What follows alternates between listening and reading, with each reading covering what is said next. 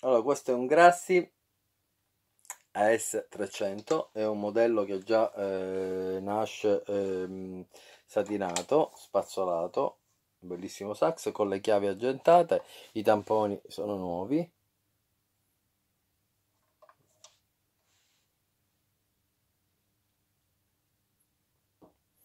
Sax perfettamente funzionante e intonato.